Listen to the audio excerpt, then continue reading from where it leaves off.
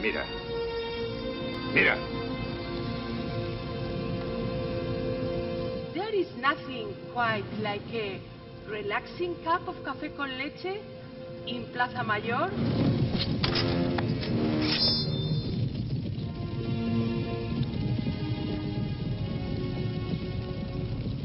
Or a quaint romantic dinner in el Madrid de los Austrias.